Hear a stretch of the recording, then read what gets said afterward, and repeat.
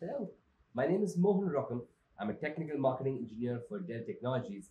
And today I wanted to tell you something we found really cool uh, using computer vision for medical imaging. Thanks, Mohan. I'm, I'm Steen Graham, and uh, I've had the opportunity to work with Mohan on some cutting edge medical imaging solutions uh, with, with AI, and uh, really thrilled to, to talk about those insights.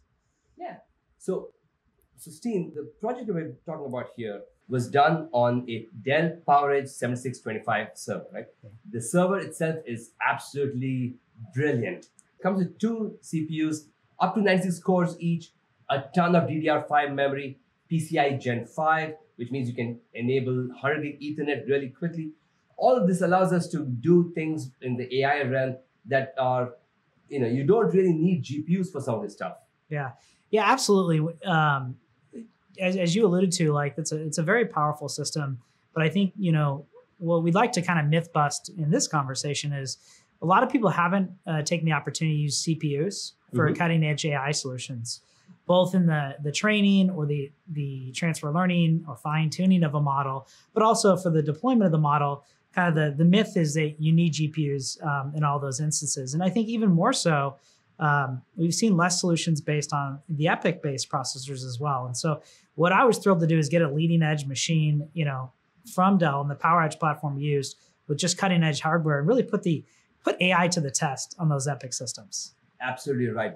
I, remember you shared uh, some details that we got up to 4x improvement with just some optimizations that Zen DNN offered. Yeah, absolutely. So, like in, in this particular um, solution that we built, we really wanted to kind of demonstrate uh, a medical imaging use case, and Mhm. but we wanted to start out um, with you know a model that everybody kind of knows and is familiar with, like ResNet 50. Mhm. And uh, we were able to take a ResNet 50 model, train it on about uh, 29,000 plus images. Um, looking Wow. at pneumonia-based detection, and Mhm. that training process, by the way, you, you normally you would think, hey, we got to we got to create a GPU or we got to go run a GPU workload. We got that done in about eight nine hours. So Just just, off the CPU. yeah, just off the CPU. Wow. Yeah, and then you saw when you talk about that four x, you know, nearly four x gain. That's all based on that set of optimization guides we were given uh, from AMD via Mhm. the Zen DNN guide. We also used a, a technique around core pinning, Mhm. and you know the from two story there is yeah we saw a four x improvement once you once you did those optimizations, and you know that's something I, I think for folks that are not familiar with that, that's something that we'll release uh, Mhm. through our GitHub repo, um, you know via Dell, so you can kind of make sure that you get that four x improvement um, as well, and that's manifested in, in in your use case. That's great. So if you're watching this and you're excited, go look for that, right? Yeah. Uh, the other thing which I want to talk about is we can do all these models, right? But at the end of the day, we need to get data in and data out. And some of these medical images are pretty large, aren't they? Yeah, they, they absolutely are large. And I think so. The, the other thing that we did here is just you can't just kind of take a, a neural network, customize it for medical imaging, um, and then it magically works. Um, you have to be compliant kind of with the industry standards in the medical imaging fil- uh, field. So, you know, we built, you know, kind of a, a custom implementation of a full medical imaging workflow uh, as a reference POC in this use case, um, using kind of the, the industry standard DICOM format, right. uh, right. the OHIF visualizer framework, which is an open medical imaging visualization framework as well. And through you know through that integrated process, um, one of the things that's really important is the connectivity layer. Mhm. So you know, great, we got the we got the CPU up to the task to analyze these medical images and transfer learn based on these medical images, but you know where's where's the networking bottleneck? And so we use you know for this use case we use X-rays, which are rather small, Mhm. but if you upgrade that to CT scans, right. you you can actually see the average CT scan can go up to you know one gig.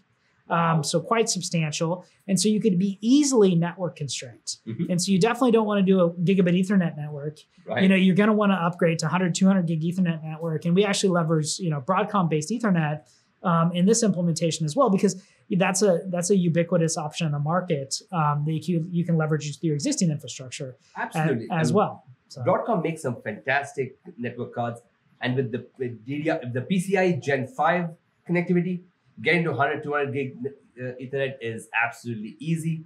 And connecting to external storage, you know, you can always have some Dell storage in there, uh, and and that you store all your large files there.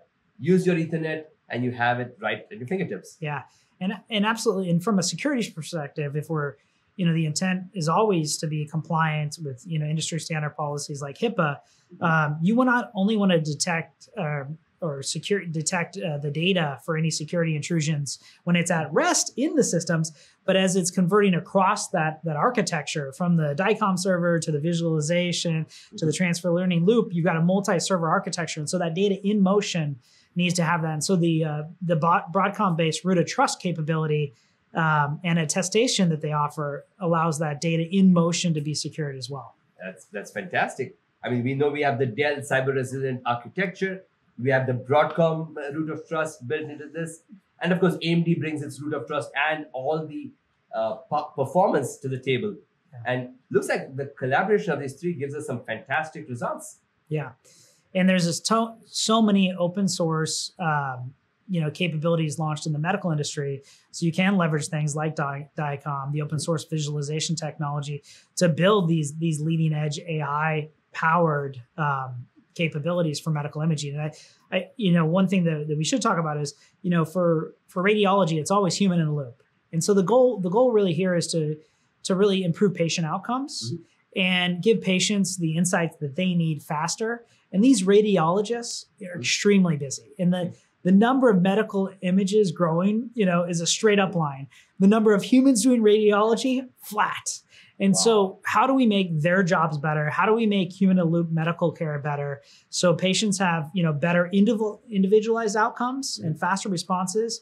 Um, but also this type of information anonymized appropriately to be you know compliant with HIPAA and other laws can help us in, in new use cases like drug discovery as well um, because not one person can can you know memorize and read all these images. In, at an AI scale, we can take tens of thousands of images and create this expertise, and ultimately lead to to better uh, patient outcomes. That sounds like a great future that we are looking forward to. Yeah, absolutely. Steen, thank you so much for coming out today and sharing those wonderful insights. Yeah, it was really a pleasure to to work with you, Mohan, and, and the team, and really excited about the future of AI innovation from Dell with. Uh, recent announcements for with Meta, uh, notably supporting the, the Llama based models. Uh, That's right. Which which we definitely use, and uh, you know announcements with Hugging Face as well, which is our go to spot for models. So, you know, Dell is truly at the forefront of AI innovation. I am glad. Thank you.